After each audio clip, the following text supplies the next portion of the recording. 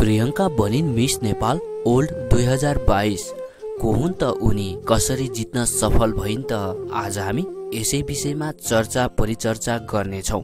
Miss Nepal दुई हजार बाइसको उपाधि प्रियङ्का रानी जोशीले जितेकी छिन्। गोदाबारीमा शनिबार सम्पन्न भएको फिनालीमा काठमाडौँ निवासी चौबिस वर्षीय प्रियङ्का रानी जोशीले मिस नेपालको ताज पहिरिएकी हुन्। ग्रान्ड फिनालीमा तेइस प्रतिस्पर्धीलाई पछाडि पार्दै चौबिस वर्षीय जोशीले उपाधि जितेकी हुन्। जोशीलाई पूर्व मिस नेपाल नम्रता श्रेष्ठले ताज क्राउन पहिरहेकी थिइन्। उनले आम सञ्चार र अङ्ग्रेजी साहित्यमा स्नातक गरेकी छन्। जोशीले मिस डिलाइट उपाधि समेत हात पारिन्। ग्रान्ड फिनालीमा तेइस प्रतिस्पर्धी मध्ये उत्कृष्ट बाह्र छ हुँदै अन्तिम तिनको प्रतिस्पर्धामा जोशी छनौट भएकी हुन्। उपाधिसँगै उनले मिस ओल्ड दुई हजार बाइसको लागि नेपालको प्रतिनिधित्व गर्दै सहभागिता जनाउने छिन्। जोशीलाई हाम्रो तर्फबाट धेरै धेरै बधाई तथा शुभकामना।